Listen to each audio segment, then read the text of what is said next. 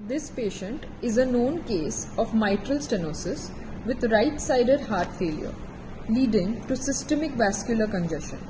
One of the signs that we know to demonstrate this is jugular venous pressure, which was found to be raised in this patient and it was 13 centimeters of water. The purpose of this video is to show other signs that are associated with right sided heart failure that are first, Mace sign. Sign is the visible engorged veins on the undersurface of the tongue as seen in this patient. Anthem sign where the veins don't collapse after making a fist and raising it above the sternum.